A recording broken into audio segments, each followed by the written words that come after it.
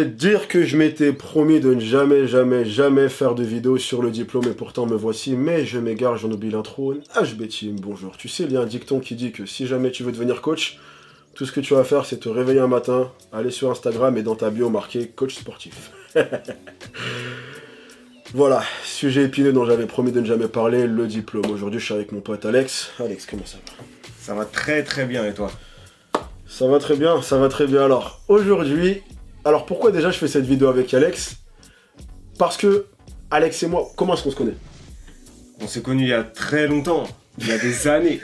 Euh, ouais, on a passé notre diplôme ensemble. Voilà. C'est un peu on, en discutait un peu hors caméra et tu vois, on s'est dit que ça pourrait être éventuellement intéressant de d'en faire une vidéo, même si tu vois, j'ai toujours fait en sorte de rester un peu à l'écart de ce débat parce que si tu veux, c'est un débat qui faisait pas mal rage et qui fait de plus en plus rage, tu vois, c'est un peu la la, petite vendetta euh, coach sportif diplômé vs influenceur, tu vois, et je m'étais jamais vraiment exprimé dessus comme ça, puis bah au final, bah nique sa mère, je le fais quoi. Et euh, donc, on va déjà clarifier une chose d'entrée de jeu, c'est que bien que euh, nous soyons coach diplômés, je vais essayer de faire une vidéo analyse en étant le plus objectif possible. Bien que, bien entendu, je vais être honnête, forcément, ça va me casser les couilles de me dire que moi, je me suis emmerdé à claqué un an de ma vie à passer un diplôme pour que des gens, ben, eux, viennent et tu vois, improvisent le fait qu'ils puissent être coach. Bien sûr que ça me saoule. Maintenant, dans le cadre de la vidéo, on va essayer de mettre ça de côté et vraiment d'essayer d'analyser ça. Donc, est-ce que le, diplôme est obligatoire pour être coach? Quelles sont les conséquences de ça et à quoi est-ce que ce phénomène est dû? Vraiment le problème de base, pourquoi est-ce que si tu veux ce problème existe, c'est-à-dire que des gens puissent se sentir la liberté de venir et se dire ok je vais faire ce taf là même si je suis pas censé le faire, c'est une question de tu vois de légitimité du métier. Le problème principal qui se pose, c'est que malheureusement tu vois le métier de coach c'est pas un métier qui est pris vraiment au sérieux. En tout cas, et ça c'est quelque chose que j'ai toujours répété, tu vois, c'est qu'en tout cas c'est pas pris au sérieux comme ça devrait l'être parce que au final quand tu prends les choses dans leur contexte, c'est un métier où quand même mine de rien, on change des vies. Ça peut paraître exagéré comme ça, ça peut paraître genre, euh, tu vois, euh, je monte sur mes grands chevaux. Non, on change littéralement des vies. Enfin, t'as des gens qui étaient, bah, t'as des gens qui étaient en obésité, en danger de mort, tu vois, ou euh, dans plein d'aspects, d'un point de vue psychologique, je vais même pas rentrer dans le débat de, tu vois, l'impact mental que ça peut avoir le sport sur quelqu'un qui est suicidaire. Tu vois ce que je veux dire? Faire être coach peut littéralement sauver des vies. Donc, au même titre qu'un médecin, pour moi, tu vois, ça a sa place dans un monde parfait pour moi même le fait d'être genre coach, etc., ça devrait être remboursé par la Sécu. Pour moi, un coach devrait être remboursé par la Sécu. Carrément. Tu vois euh, Deuxième truc par rapport à ça aussi, c'est que même en termes de, tu vois, de statut social, tu vas arriver, je sais pas, dans une soirée, dans un, événement, etc., tu dis aux gens, je suis coach. Les gens vont dire, ah ouais, c'est mignon, tiens, petit mec en sur Je connais des coachs qui gagnent deux fois plus que certains médecins. Tu vois Donc, à tous les aspects, c'est un métier qui, techniquement, devrait être pris au sérieux, Maintenant, force est de constater qu'il ne l'est pas, et c'est vrai que la vraie question qui doit se poser, c'est pourquoi n'est-ce pas pris au sérieux? Parce qu'en soi, vouloir régler le truc de certaines personnes, coach diplômées ou pas diplômées, revient en réalité à se poser la question de pourquoi est-ce que certaines personnes se permettent ça? Et on en revient à le métier de coach n'est pas légitime comme il devrait l'être. Et à ton avis, pourquoi il ne l'est pas? Je dirais que, en fait, on se rend pas compte de ce que c'est. Enfin, quand je dis on, c'est les gens ne se rendent pas compte de ce que c'est. Et même mhm. moi d'ailleurs, il euh, y, a des personnes même qui, me contactent pour être coaché mhm. et qui me disent Mais c'est ton métier à plein temps mhm. Bah ouais. C'est ça, c'est ça. C'est mon métier à plein temps. et tu sais, ils sont étonnés, ils me disent Ah ok, tu vois Genre, ah, je pensais que c'était un passe-temps, tu vois. Bah non, c'est pas un passe-temps, c'est un métier. On prend du temps. Et en fait, les gens ne voient pas tout ce qu'il y a derrière. Je pense que c'est aussi pour ça que c'est pas pris au sérieux. On pense que ok, on fait faire un, 4x10, tu vois, un programme banal à quelqu'un mm. et que ça va marcher.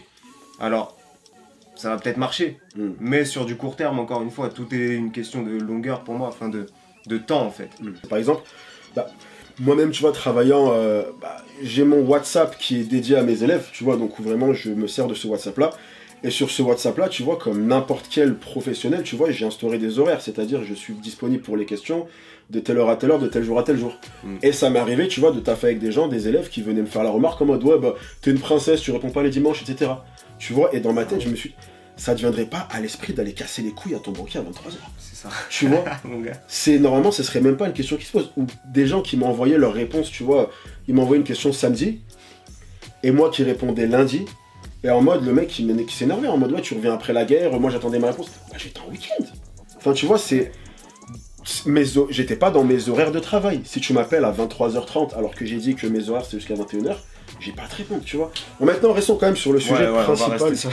Donc, alors, on, s'est égaré, mais c'est une intro qui, pour moi, tu vois, euh, méritait d'être faite pour dresser le contexte parce que, mine de rien, tout ce qu'on va dire par la suite, ça en revient à ce problème de base-là, qui est la raison pour laquelle il y a même l'existence même des coachs non diplômés, pour moi, vient au fait que le métier de coach n'est pas pris au sérieux. Donc, c'est pour ça que pour moi, c'était une introduction euh, un peu longue mais nécessaire.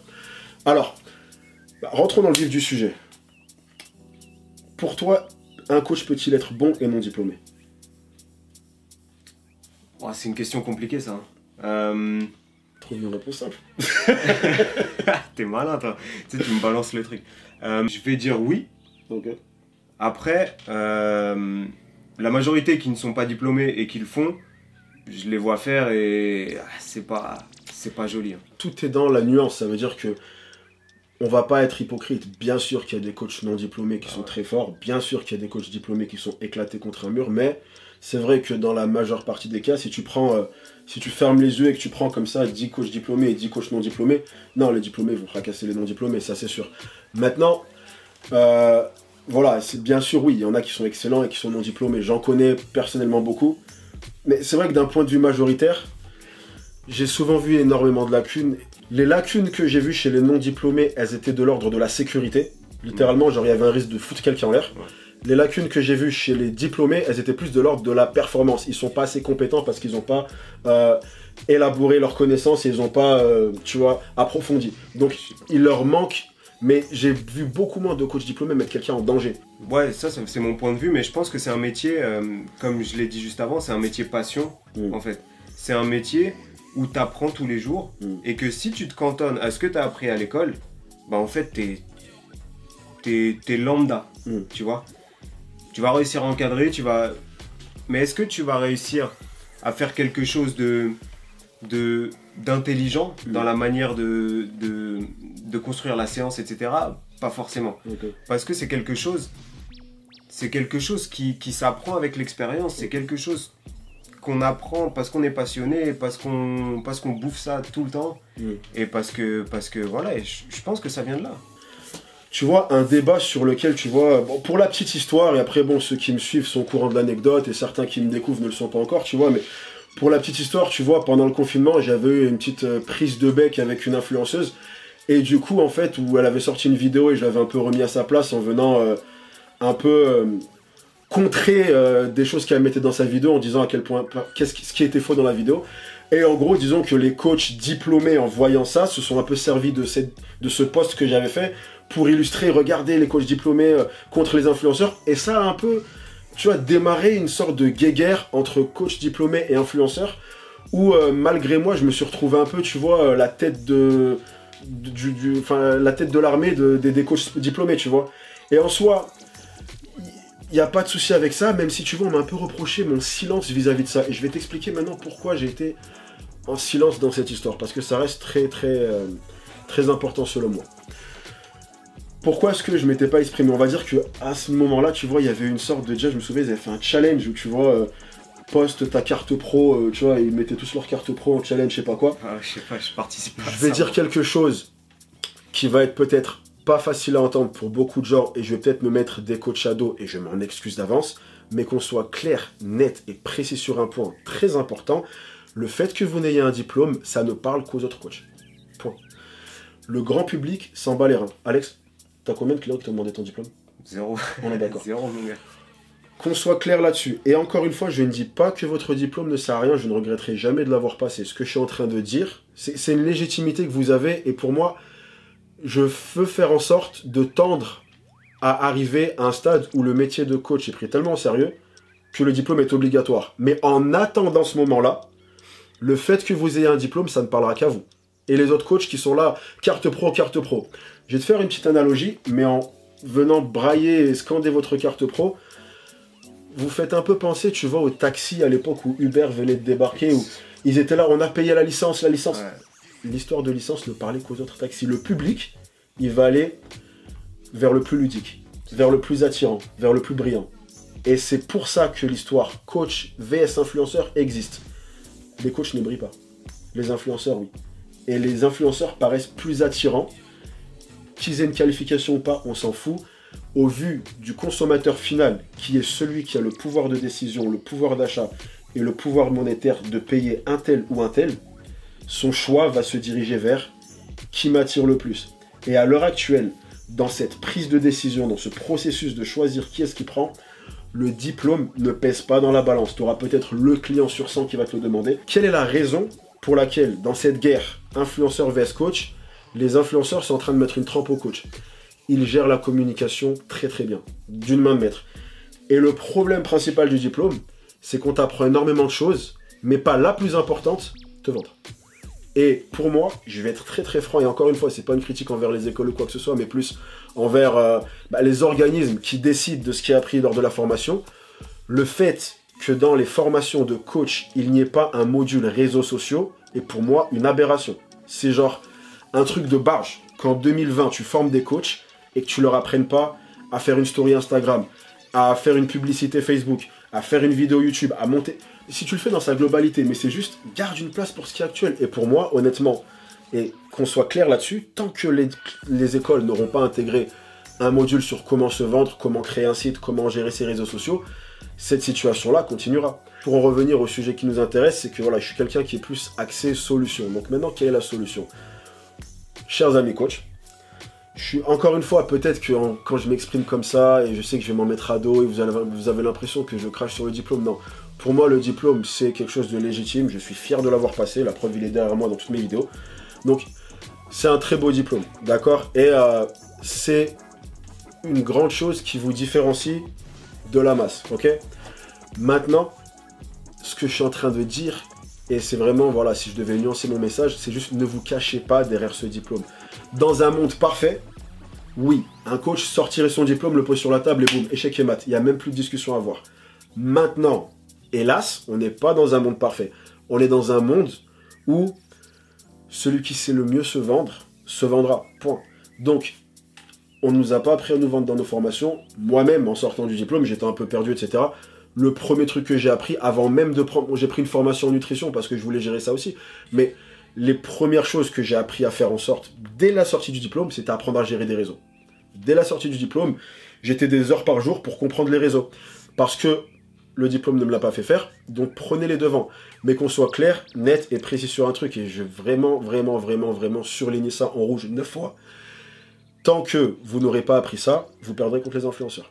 Et tant que vous n'aurez pas appris ça, c'est eux qui auront les clients. Et vous vous partagerez euh, le 10% qui reste. Tu vois, en gros, vous mangerez les miettes. Mais si maintenant vous voulez que le métier de coach soit reconnu et que le métier de coach soit vu tel qu'il est censé être vu, c'est-à-dire comme, encore une fois, je l'ai déjà dit tout à l'heure, quelque chose qui change des vies, faites en sorte de vous développer en tant que tel. Donc voilà, même si ça peut, on peut avoir l'impression que j'ai eu un discours un peu négatif, un peu rentre dedans, un peu fataliste, et je sais que certains ne seront pas d'accord, de mon point de vue observateur, et j'ai vraiment essayé de me détacher du fait que moi-même je suis diplômé, et j'ai vraiment voulu voir les choses d'un point de vue, j'observe, moi-même si j'étais client, je prendrais eux et pas vous.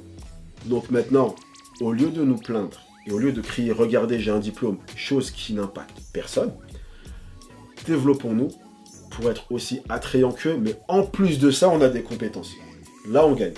Bah, c'est comme, analogie toute bête, mais moi je suis quelqu'un qui aime bien aller à la source parce que j'aime pas les batailles inutiles. C'est comme dès que tu vois, il y a un produit de merde qui sort, et que j'en parle dans un post ou une vidéo, on me dit bah pourquoi tu leur as pas directement envoyé un DM Parce que eux ils, vont pas changer. C'est le public qui peut changer. C'est ça. Et bah là c'est pareil. Je vais pas changer euh, les organismes de formation. Tu vois, ils vont pas regarder cette vidéo. Par contre les coachs oui. Donc cette vidéo là s'adresse aux coachs. Donc je suis en train de leur expliquer. Ou leur expliquer non, je suis personne pour leur expliquer, mais du moins si je peux me permettre de conseiller sur une chose, c'est apprenez à vous battre avec les armes de ceux que vous que vous accusez de vous voler votre métier. Parce qu'au final, c'est ça. La raison pour laquelle j'ai réussi à m'en sortir très vite et très bien en tant que coach, c'est parce que bien que étant diplômé, c'est pas quelque chose derrière lequel je me suis caché. Et j'ai appris à développer mes réseaux, etc. Parce que j'ai compris que. Et pour être très honnête, tu vois, et désolé pour ceux, tu vois, euh, qui sont un peu contre ça, ça va pas aller en s'améliorant. C'est euh, les réseaux, là, on a vu que le début. Et plus ça va aller, plus personne ne, marche, ne marque coach sportif Paris sur Google. D'accord Maintenant, c'est Insta. D'accord Plus personne ne va sur les sites, plus personne. Donc, on arrive à un stade où de plus en plus, et je suis désolé de dire ça comme ça, mais malheureusement, c'est les choses telles qu'elles sont, ça va être va sur les réseaux ou crève. Et euh, d'ici, j'ai envie de, et je vais être très optimiste, mais d'ici 5 ans max, mais j'ai envie de dire 2 ans, mais allez, viens, on dit 5 ans. D'ici 5 ans max, un coach qui ne sait pas gérer ses réseaux meurt. Voilà. Bon, je pense qu'on a assez fait le tour. Euh, j'espère que la vidéo n'a pas fait trop coup de gueule parce que c'était pas le but. C'est vraiment. Alors, c'est une vidéo bienveillante sous couverte de coups de gueule, mais en fait, c'est vraiment pour euh, une volonté de voilà. Je m'étais jamais exprimé sur le sujet parce que on m'a beaucoup demandé d'en parler dans le sens où tu vois, euh, malgré moi, j'ai un peu démarré une altercation par rapport à un post que j'avais fait, tu vois, et du coup, bah, je m'étais jamais exprimé. Alors, c'était il y a des mois, tu vois, mais ça, ça, me chagrine jusqu'à aujourd'hui, tu vois, de voir parce que beaucoup de gens continuent à me faire la réflexion, tu vois, quand je vais mettre euh, une vidéo en, story d'un mec qui fait n'importe quoi. Ouais, t'as vu, il est pas diplômé. Et ouais, je t'entends, collègue. Mais les gens s'en foutent. Tu vois, donc, euh, j'espère que certaines personnes réussiront à voir au-delà de l'apparence euh, je clash, parce que c'était pas du tout un clash, mais qui verront derrière, c'est-à-dire, je fais mine de rien réellement ça pour essayer d'aider les gens. Donc, si même ne serait-ce que quelques personnes entendent cette vidéo et l'appliquent, eh bah, ça me permettra, je serai content et c'est pas grave si à côté de ça t'en as 250 qui disent ouais tu dis de la merde, c'est pas grave. Donc voilà, en tout cas, euh, voilà, c'était une vidéo de longue haleine, il fallait que je la fasse, c'est maintenant chose faite. J'espère que la vidéo vous a plu, la team. Si la vidéo vous a plu, comme d'hab, pensez à mettre des pouces en l'air. Pour ceux qui n'aiment pas la vidéo, faites-le savoir, appliquez votre liberté d'expression, mettez des pouces en bas. Pour ceux qui veulent suivre mon pote Alex, je mettrai le lien de son Instagram en description, d'accord? Il fait des posts super intéressants, donc je vous recommande d'aller le suivre. Et euh, guettez aussi sa chaîne YouTube, je mettrai le lien également en description parce que la prochaine vidéo, il y aura ma gueule dedans. Voilà. Donc si vous voulez voir sa grosse tête encore. Ma grosse tête encore. Donc euh, voilà. Euh, pensez également à mettre des commentaires. Dites-moi en commentaire comme d'hab les vidéos que vous voulez que je fasse next.